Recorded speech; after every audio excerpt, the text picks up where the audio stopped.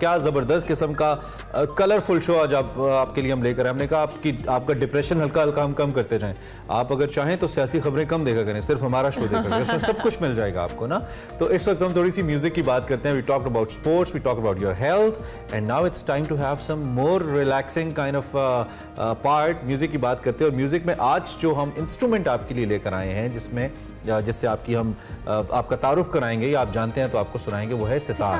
भाई सितार जो है ना ये बादशाहों के वक्त से मुगलिया दौर के वक्त से इसको एक शाही साजीने की जो हैसियत है ना वो हासिल है। उस वक्त से ये मौजूद है। इसकी एग्जैक्ट तारीख क्या है वो तो शायद मैं आपको ना बता पाऊँ। आई थिंक हज़रत अमीर खुसरो के टाइम से इसको किसी न किसी फॉर्म के अंदर ये चलता आता है। आज हमारे साथ मोहम्मद आफंदी मौजूद हैं। जिनकी तस्वीर भी आप देख रहे हैं। नेस्कफे बेसमेंट एक बहुत मशहूर म्यूजिकल सीरीज़ है पाकिस्तान की जिसने बड़ा ज़बरदस्त एक रॉ टैलेंट को उठाया और फिर बेहतरीन स्टार्स पाकिस्तान को दिए जो अब मुख्तलि फॉरम्स पर बड़ा अच्छा परफॉर्म करें अरमला ये उसका भी हिस्सा थे और जो music all Pakistan music conference हुई थी अलहमरा के अंदर इन्होंने तीन गोल्ड मेडल हासिल किए। और one thing that I would like to say फिर हमला मुलाकात भी करवा देंगे आपकी ये है कि ये सितार को एज अ कूल इंस्ट्रूमेंट दुनिया के सामने लेकर आ रहे हैं कि इट्स नॉट इंपॉर्टेंट कि आप मुसहरी पे बैठें और फिर आप सितार बजाएँ। आप इसको बेंच पे बैठ के कहीं पे गिटार की तरह बजा हाँ, सकते हैं। नॉर्मलाइज कर सकते के लिए। सो मोहम्मद अफनी हमारे साथ मौजूद है। थैंक यू वेरी मच बहुत शुक्रिया। कैसे हैं आप? Thank you so much Sharmila and Imran for having me on the show it is such an honour और uh, मुझे अच्छा लग रहा है कि सितार जैसे इंस्ट्रूमेंट को जो मेरा एक ड्रीम है कि इसको ट्रेंड में लाया जाए उसके लिए आप एक अच्छी काविश कर रहे हैं इसके लिए मैं बड़ा तहे दिल से शुक्रगुजार सो काइंड ऑफ़ यू अब ज़रा थोड़ा सा अपने म्यूज़िकल और ये सितार को लेके बताएँ जर्नी आपने चूँकि हमने नेस्केफे बेसमेंट के हवाले से बात की मुख्तलिफ़ कॉन्फ्रेंस का भी आप हिस्सा रहे. So tell us about your journey with sitar.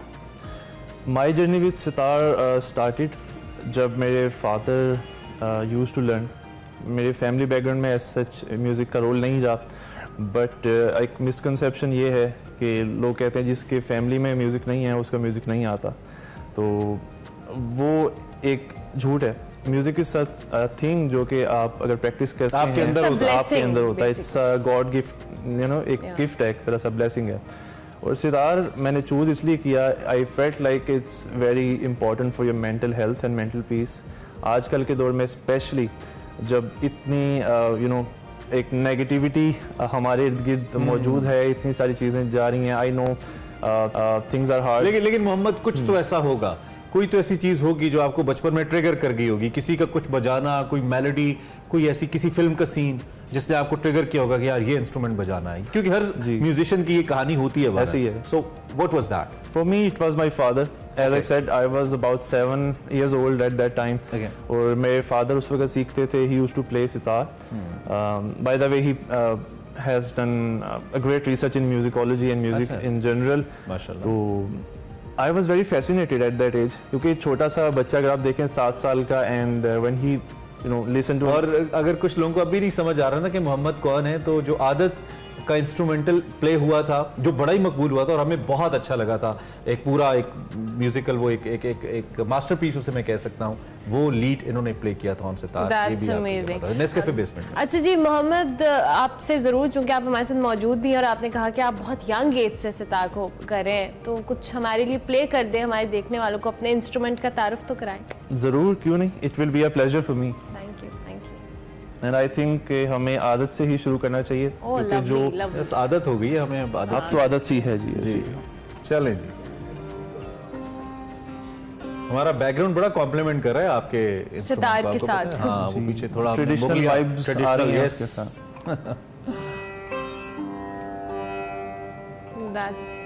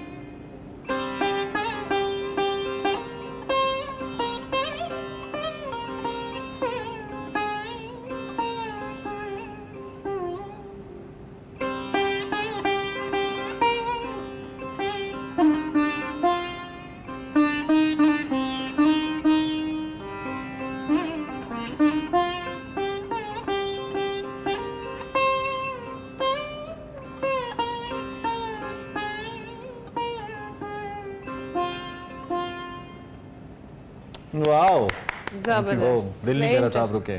दिल नहीं कर रहा था। क्या बात है क्या सुर छेड़े आपने। बहुत ही खूबसूरत। कितना दिन में कितना प्रैक्टिस करते हैं कितना बजाते हैं?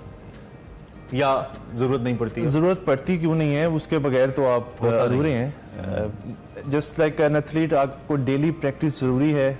सिमिलरली म्यूज़िक इंस्ट्रूमेंट प्ले करना या म्यूज़िक इन जनरल करना भी with practice you get good with it तो लाइफ बिज़ी है अब सब कुछ है बट आई एटलीस्ट ट्राई कि मैं डेली बेसिस पे अपने इंस्ट्रूमेंट के साथ टाइम ज़रूर स्पेंड करूँ हम्म। और one thing which I am doing at this moment मेरा क्योंकि एक मोटो ये है कि मैं सितार को ट्रेंड में ला सकूँ क्योंकि sitar is an obviously an old instrument और काफ़ी हेरिटेज भी है एज सेट हज़रत अमीर खुसरो के दौर से भी इसके कड़ियाँ मिलती हैं और sitar is set to be the instrument जिसकी बदौलत इस्लाम बर सग़ीर में दाखिल हुआ था हम्म। तो सितार एंड कवाली की जो ईजाद है ना वो एक ही ऑथर से है जो कि हज़रत अमीर खुसरो हैं हम्म। और उन्हीं के बनाए हुए इंस्ट्रूमेंट्स में से एक इंस्ट्रूमेंट है ये हम्म। अब उसके बाद क्या हुआ सितार चूँकि हमारे यहाँ पर एक कल्चर डाइवर्सिटी ऐसी बनी कि हमारे लोगों में एक तासुर ये पाया जाता है कि sitar is an old instrument और कोई यू नो एक ओल्ड सा आदमी या कोई शख्स इसे प्ले कर रहा होगा and they get bored with it एक ऐसी इमेज क्रिएट हुई है ऑल के ऐसा नहीं है।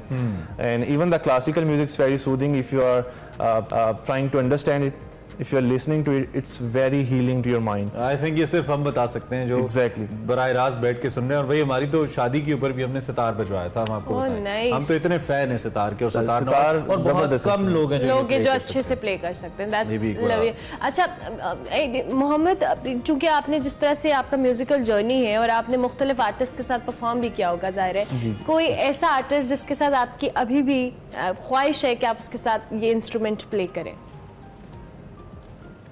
आर्टिस्ट तो बहुत सारे हैं और आर्टिस्ट की जो ख्वाहिशात हैं वो कभी भी पूरी नहीं हो सकती। क्योंकि आर्टिस्ट इज़ समवन जो कि हमेशा इनोवेशन करना जो चाहते स्पेसिफिक पर्सनालिटी हो जिसके साथ ख्वाहिश हो कि आप प्ले करना चाहें। आई थिंक के हाल दौर में I would love to meet uh, obviously and uh, play with uh, Sajad Ali साहब oh, is one of my favorites. Nice. and uh, तो ये जो आदत आपने बजाया इंस्ट्रूमेंट ये ये आइडिया आपका था या जुल्फी का था? किसका आइडिया था किसको करते हैं? जी आदत बड़ा डिफरेंट आइडिया था कि बिल्कुल ऐसे पॉप रॉक रॉक सॉन्ग को उठा के आप सितार की exactly ऐसे और बहुत बाकमाल तरीके से। ऐसे ही है। और आदत बेसिकली जब you know it came out तो सीज़न फाइव चल रहा था and we use to sit Zulfi भाई के साथ हमारा जैमिंग सेशन वगैरह होते थे वहाँ पर। तो हम we came up different ideas at that time तो um, हमने सोचा क्यों ना ऐसा एक सॉन्ग uh, रिन्यू किया जाए जो कि एक एंथम की हैसियत भी रखता हो at the same time it can relate to a lot of people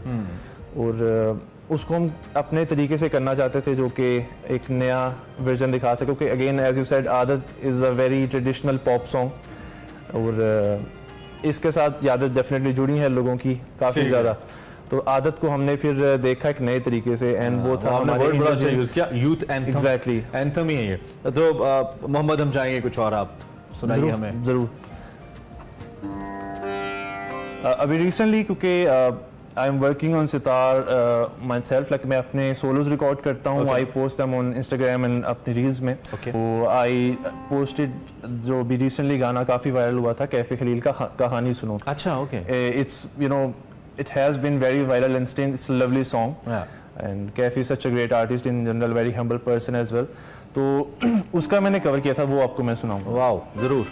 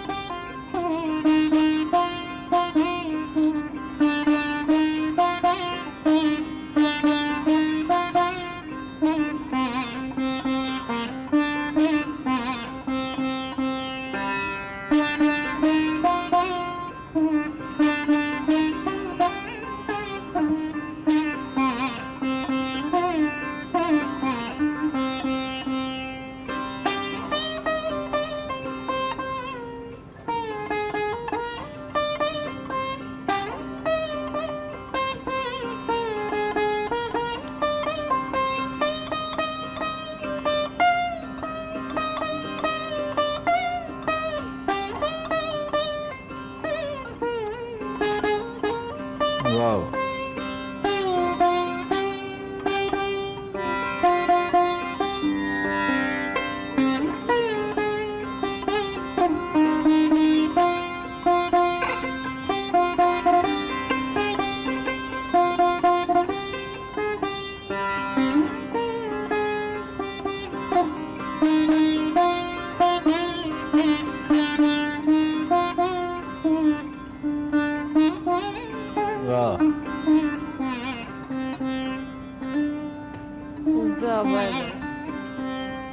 Mohammad क्या बात है। बहुत बहुत अच्छा मैं एक सवाल मोहम्मद आप इसको सिखा भी रहे हैं? बिल्कुल। कहाँ पे? और सितार के मेरे पास काफ़ी स्टूडेंट्स आते okay. हैं again sitar out of trend था but thanks to the love and support I get and उसकी वजह से मेरे पास काफ़ी स्टूडेंट आते हैं सितार के लिए। And what I tell them जो एक टिपिकल हमारी एक रिवायत चलती है हम कहते हैं कि आप म्यूज़िक सारी ज़िंदगी करते रहें। फिर शायद आपको आए या ना आए I never said this to them क्योंकि हमारी जो यूथ है दे आर वेरी स्मार्ट तो ये आई थिंक जो पुरानी रवायात है नो डाउट इट में सच्चाई है वो इस हद तक है कि जब unless you put your own effort into it तो तब put your heart into it exactly अगर आप वो नहीं करेंगे तो ऑब्वियसली फिर आप पूरी ज़िंदगी भी सीखेंगे तो वो बेमतलब है। और people uh, you know get to play sitar sitar is considered one of the hardest. Guitars तो हमने उनकी दुकानें भी हैं मिल जाते हैं वायलिन्स भी मिल जाते हैं क्योंकि ये सितार मैंने नहीं देखा आज तक। सितार क्या मुझे ऑर्डर करना पड़ेगा? सर सितार लाहौर में एक ही शॉप है इसकी।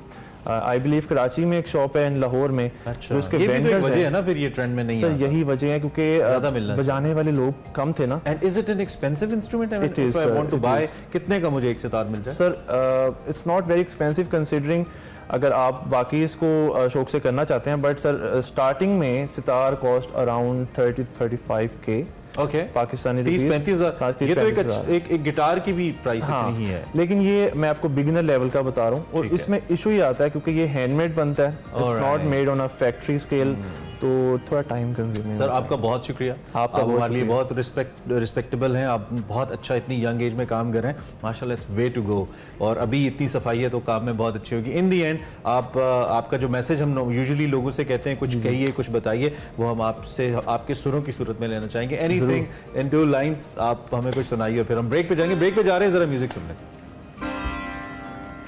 आई थिंक पाकिस्तान से रिलेटेड मैसेज होना चाहिए तो I will go uh, with Dil Dil Pakistan. Oh, oh yes. Lovely. That's great. Amazing.